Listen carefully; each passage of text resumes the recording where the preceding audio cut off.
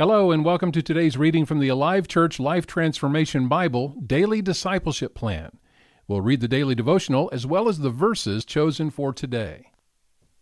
As we progress through our Life Transformation Bible readings, we're now on the topic of goodness, again, one of the fruit of the Spirit. I will express goodness by helping others who are in need. Goodness is love in action, and my desire is to demonstrate to others the fruit of God's goodness. Goodness is a character quality that is produced in my life supernaturally by the Holy Spirit. In the same way Jesus went about doing good, I will go about doing good. Goodness is an expression of Jesus in me. I will express goodness by helping others who are in need. Goodness is the rare quality of generosity and benevolence, a choice to always go the second mile when someone has asked me to go the first. Through the fruit of God's goodness, my focus is shifted from selfish desires to the needs of those around me, and I am able to act in a selfless manner contrary to my flesh. I will express goodness by helping others who are in need. God the Father is working in and through me to change people's lives for the better. I am empowered and energized by the Holy Spirit to express goodness by helping others who are in need even when others don't deserve it. I will reach out to them in goodness with a positive action. God's goodness through me will be reflected in generosity, kind heartedness, and charitable actions. In the same way Jesus was a blessing to his generation, he is using me to bless my generation. Jesus used his resources to do good things for those with whom he came in contact. I give him permission to open my eyes to the needs of those around me and to direct my heart to take action.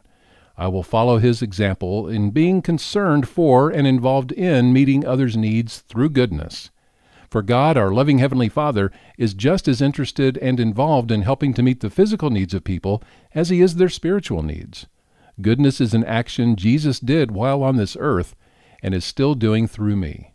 I will express goodness by helping others who are in need. Therefore, today I will do good in all the ways I can, to all the souls I can, in every place I can, at all the times I can, with all the zeal I can, as long as ever I can. And that's a quote adapted from an evangelist in the 18th century named John Wesley. Now let's look to see what God's Word has to say on day one of our readings about goodness.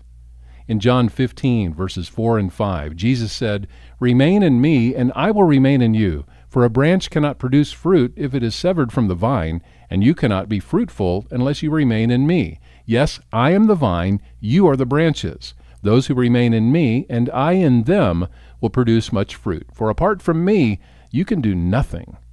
And in Matthew 5:16, let your good deeds shine out for all to see, so that everyone will praise your heavenly Father. Philippians 1:11 May you always be filled with the fruit of your salvation, the righteous character produced in your life by Jesus Christ, for this will bring much glory and praise to God. And our memory verse this week is Romans 14:17.